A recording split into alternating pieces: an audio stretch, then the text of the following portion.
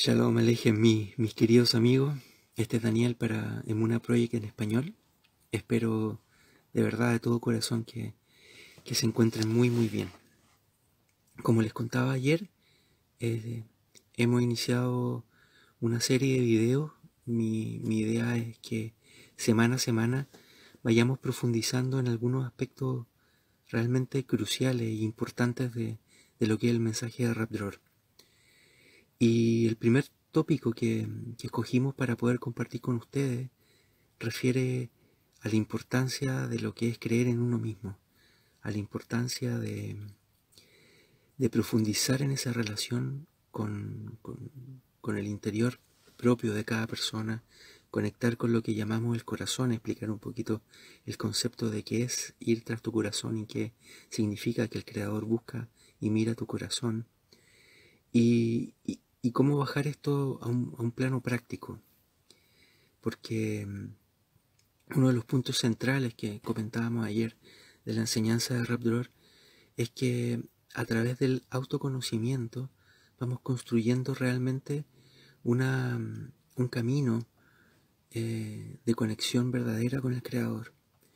Independiente de, de las cosas externas que al final muchas veces terminan confundiéndonos y terminan desviándonos de nuestros puntos interiores de verdad, el camino del autoconocimiento y de establecer una relación personal contigo mismo y a través de ella em, con el Creador de todos los mundos, em, es el camino de la verdadera espiritualidad. Ayer hablamos bastante sobre la importancia en este camino de lo que es la Ibodedut, esta conversación personal con el Creador. Y dijimos algo que, que, puede parecer un poco extraño, pero que Rabdor hace harto hincapié, que muchas veces en realidad no importa tanto eh, qué le pidas al Creador en tu Ibodedut, sino la calidad de, de tu conversación contigo mismo. Y ahí, ahí radica el secreto de, cómo abrir las puertas del autoconocimiento, cómo partir este camino hacia uno mismo, como, como la invitación que Hashem hace a, Abraham vino. Le dice, Lech leja, vete para ti, hacia esa tierra que, que yo te mostraré. ¿Cuál es esa tierra? El interior. En la medida en que vamos conectándonos con nosotros mismos, vamos eh, una, una de las cosas que explicamos ayer es que vamos sacando un poco estas cáscaras. ¿Qué son estas cáscaras? Estas cáscaras son un montón de prejuicios, un montón de estructuras, un montón de, de patrones que, que, fueron impuestos ya sea por, por la sociedad, por la educación, por, por nuestros padres, por, en fin, por todas aquellas cosas que nos condicionaron a hacer y a creer eh, de que somos algo que en verdad no, no somos. Y muchas veces las frustraciones y, los problemas que experimentamos en nuestra vida tienen que ver mucho con, con que no sabemos realmente quién somos. Y podemos leer muchos libros, podemos seguir religiones, podemos seguir disciplina. Y al final del camino, eh, si no iniciamos un conocimiento verdadero de lo que somos, al final del camino nos vamos a terminar encontrando nuevamente frustrados y, desesperanzados y, perdiendo la fe o entrando en estados de tristeza, de, depresión, de desesperación. Entonces, lo que hoy día quería compartir un poco con, ustedes eh, es más que nada el aspecto más práctico de lo que conversamos ayer. Y se refiere un poco a que, además de la hipodedut, debemos establecer una especie de, disciplina. Una disciplina mental que, que nos va a ir fortaleciendo y nos va a ir mostrando luces eh, un poco de lo que está pasando adentro.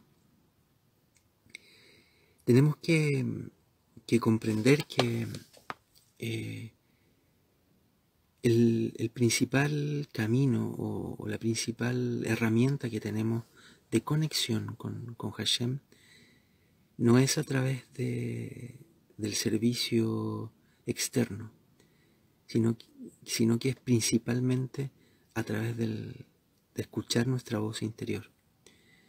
Muchas veces uno siente duda de, de qué, qué camino tomar, pero si uno hace introspección, se va a dar cuenta que al final uno siente dentro de uno lo que está bien y lo que está mal, independiente de las razones de que tu intelecto te, te justifique de por qué hacer algo o por qué tomar un camino.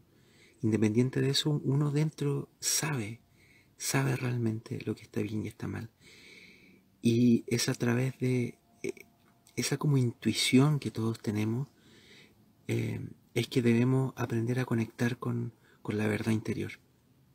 Y para esto, Raptor siempre dice que, que una de las disciplinas que tenemos que desarrollar de, de, manera más, con mayor fuerza y debemos tener y poner todo nuestro esfuerzo y nuestro coraje en ello, es em, el estar atento a nuestra mente.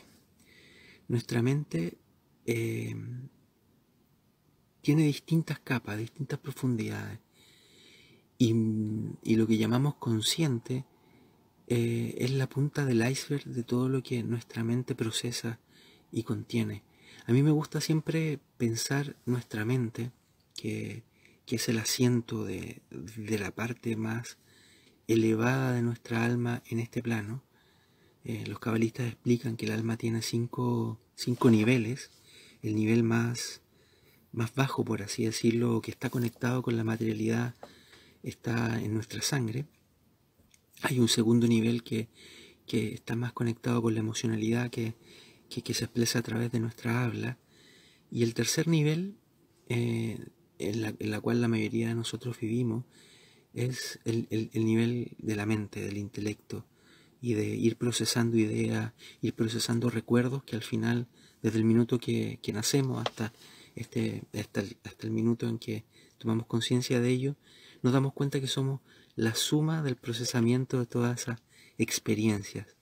Si sacan nuestro cuerpo, al final eso es lo que queda, la suma de toda esa experiencia. Y esto está sentado en nuestra mente, que en hebreo se conoce como la Neshama. Em, y aprender a tomar conciencia de lo que pasa dentro de nuestra mente es, uno de es una de las disciplinas que debemos desarrollar para poder justamente ir adentrándonos en nosotros mismos. Y quiero ser muy, muy práctico en esto. Eh, por ejemplo, cuando yo traté de, iniciar este camino, eh, tenía bastantes problemas de Shalom Bait.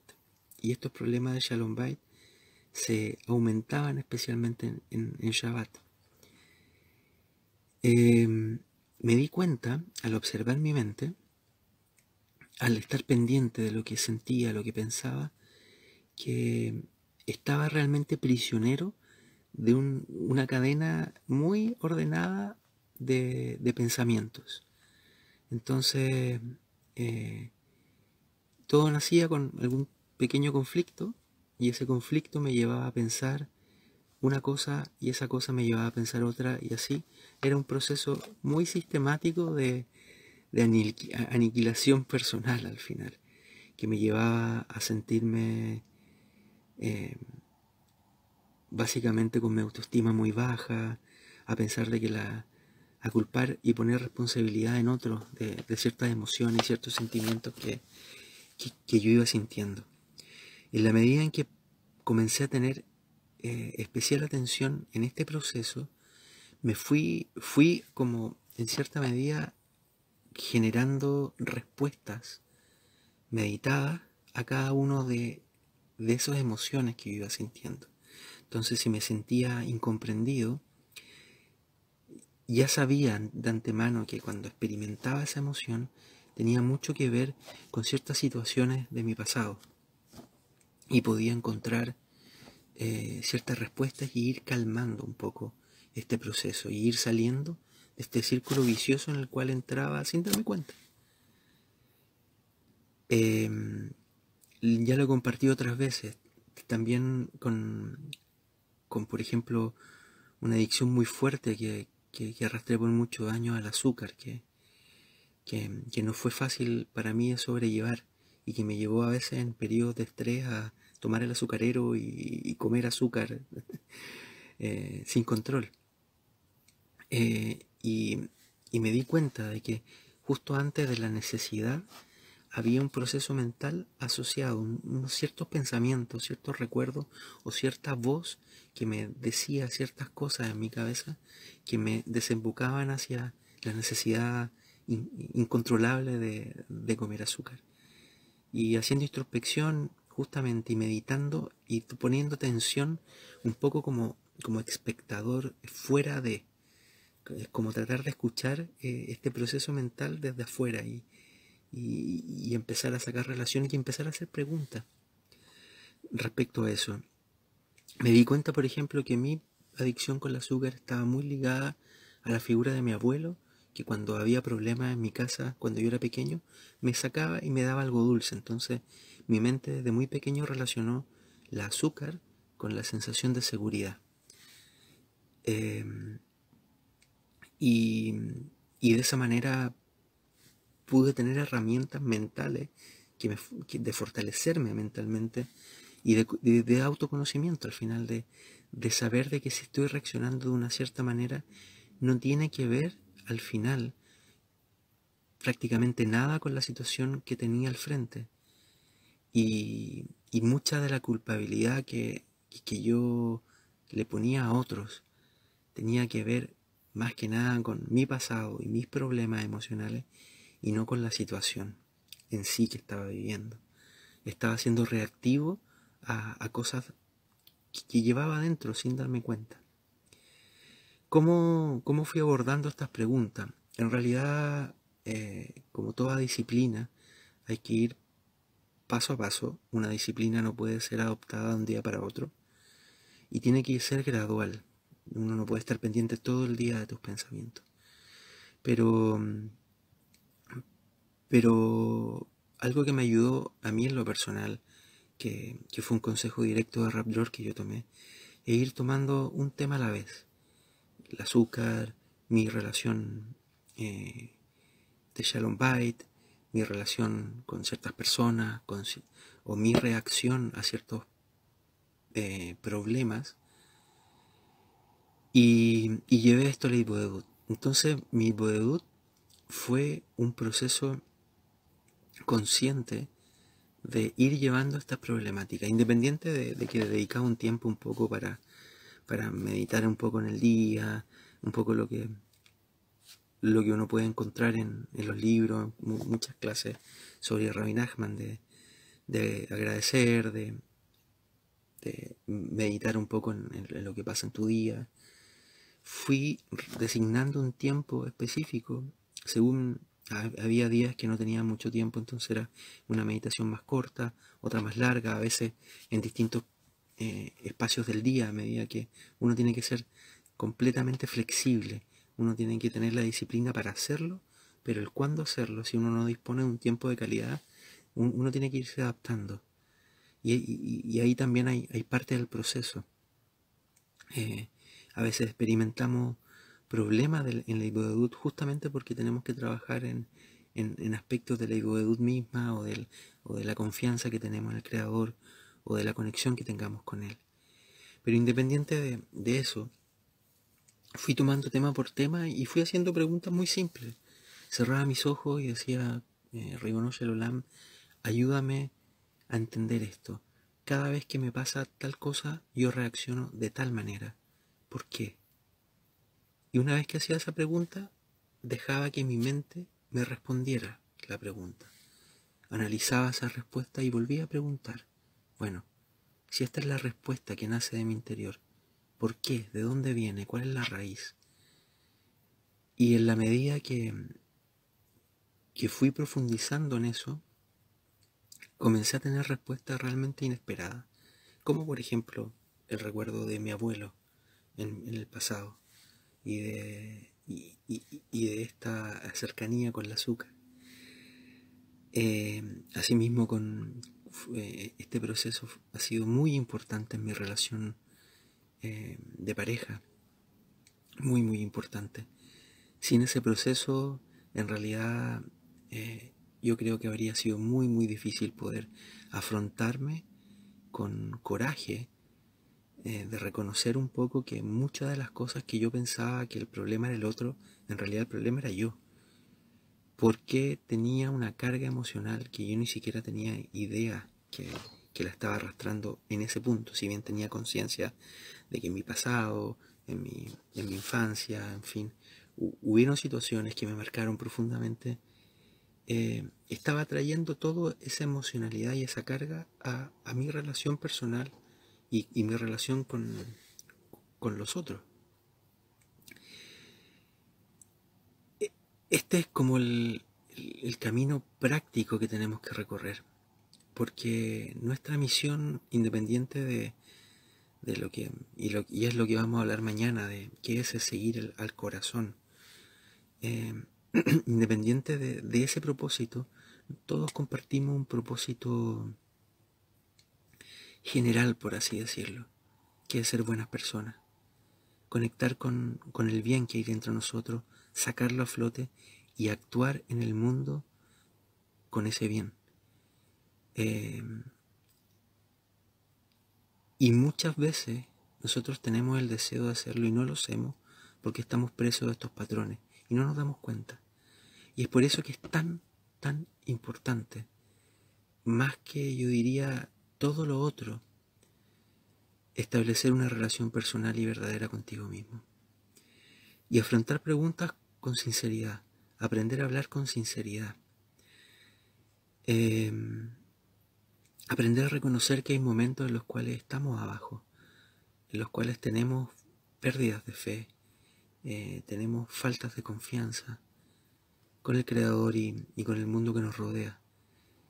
Y ir con honestidad haciendo estas preguntas es lo que es lo que en mi experiencia personal puede que haya otros otros caminos, pero en mi experiencia personal es lo que te conduce a las respuestas reales, verdaderas. Tenemos que tomar conciencia que vivimos en un mundo en el cual tenemos que actuar. Y este mundo es real. Y el 90% de las explicaciones que están dentro dando vueltas en nuestra cabeza son ilusiones.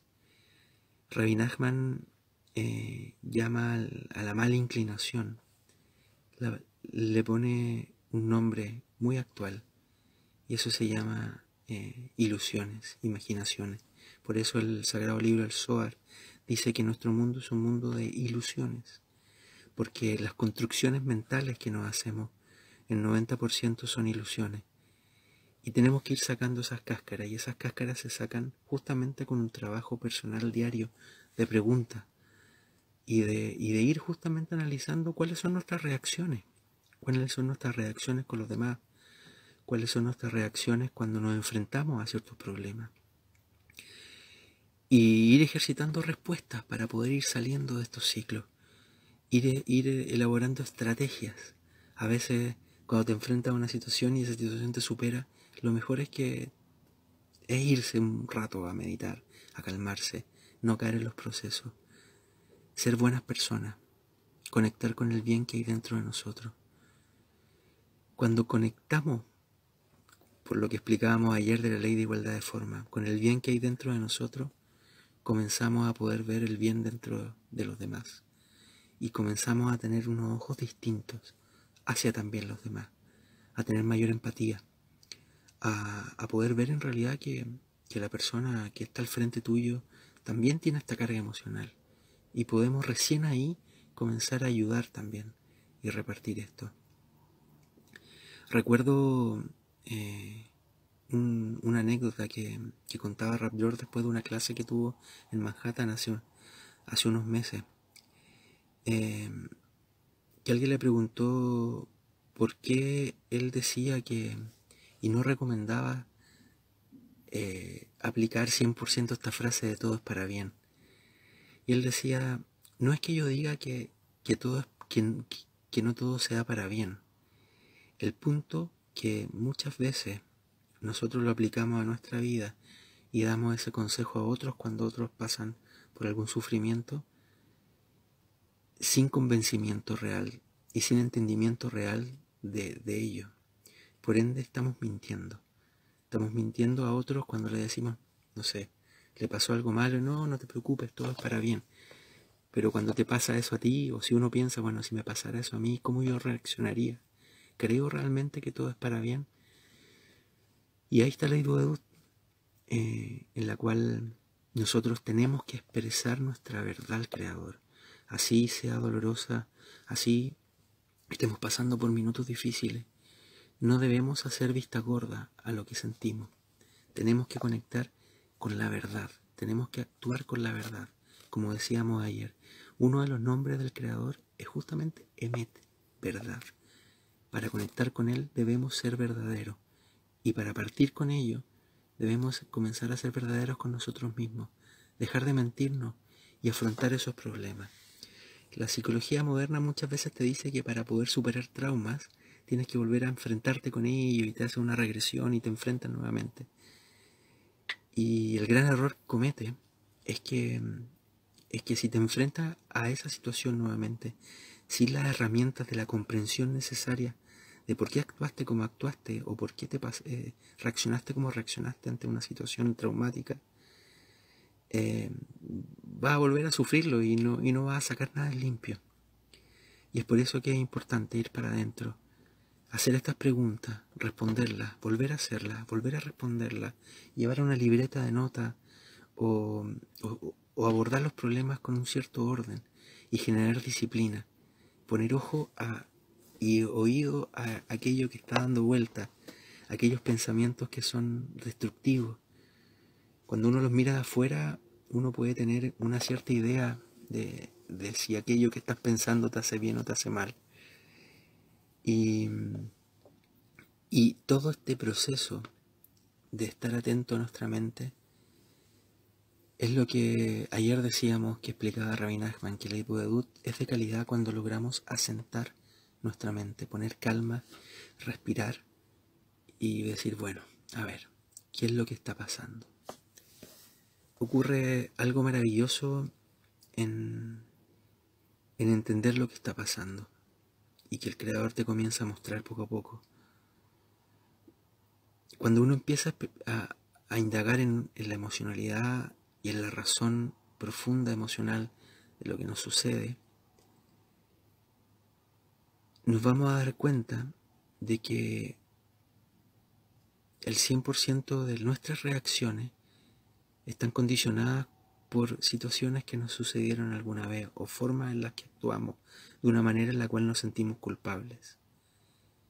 Pero al indagar en la emocionalidad, nos vamos a dar cuenta que muchas de esas veces actuamos porque teníamos miedo, actuamos porque queríamos al final ser amados, ser reconocidos, o, o, o emociones del estilo, que se remontan al final en situaciones que viviste a los cuatro o cinco años, y que, y que al final tu emocionalidad responde a un niño que, que tiene susto, un niño que desea ser amado.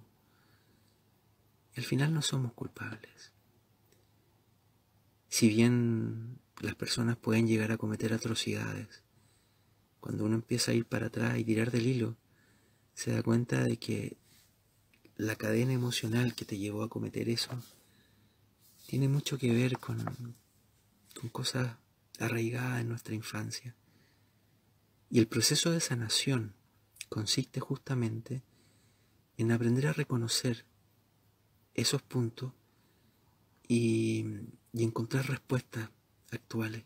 Entender de que aquello que pasó hace 15, 20, 30, 40 años atrás ya no está pasando ahora ya pasó. Y fortalecernos emocional y mentalmente para, para darnos cuenta al final de que el pasado no tiene conexión, tiene su influencia mediante nuestra emocionalidad, pero si somos capaces de entenderla, somos capaces de encontrar respuestas distintas y somos capaces de sanar. todo esto es un poco el concepto que está detrás de la mente sentada, del poner atención en la mente y de, llevar esto a un trabajo personal de, de preguntas y respuestas personales.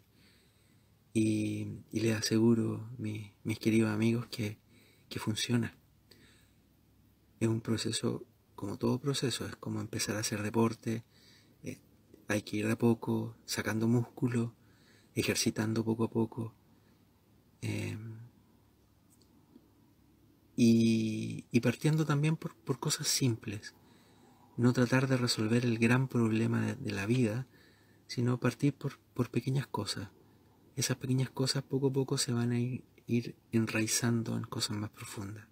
Tenemos que ser inteligentes a la hora de, de, tomar esta estrategia, porque esta estrategia es justamente la que permite en, en, en, palabras ya más eh, cercanas a, un poco lo que explica Rabbi Nachman, eh, nos permite tener herramientas para vencer a la mala inclinación, que es nuestras imaginaciones, las ilusiones que nos creamos producto de, del mundo externo, que es el símil con lo que dice los jajamín, que es el producto de la contaminación de la serpiente, como, como hablábamos ayer.